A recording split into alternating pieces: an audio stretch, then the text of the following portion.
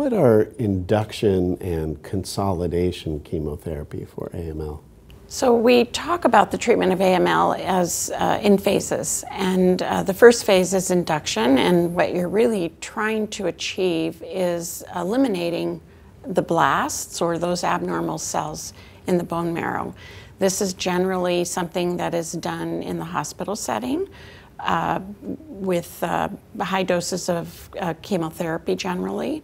And what we, what we do is we generally will repeat a bone marrow biopsy at some point. Day 14 has been uh, the historic trend. Uh, we're, we're moving away from that in some cases. But ultimately, you need to know that you have eliminated that malignant clone of cells in the bone marrow. Uh, and if you achieve that with induction, then we'll allow that marrow to recover. We'll reevaluate with another bone marrow biopsy to make sure that healthy cells have grown back. Once we've achieved that uh, remission state, then the patient can move on to consolidation therapy.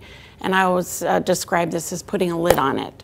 So we've, we've achieved getting those cells down to a, a good level where we can't detect them with the science that we have available today. And, but we know there are microscopic abnormalities uh, that need to be suppressed further. So we'll add additional cycles of chemotherapy, uh, anywhere from three or four, uh, depending on the patient, sometimes less than that, to basically uh, seal those cells at, at a lower level, in, in a few cases with the intent uh, of cure.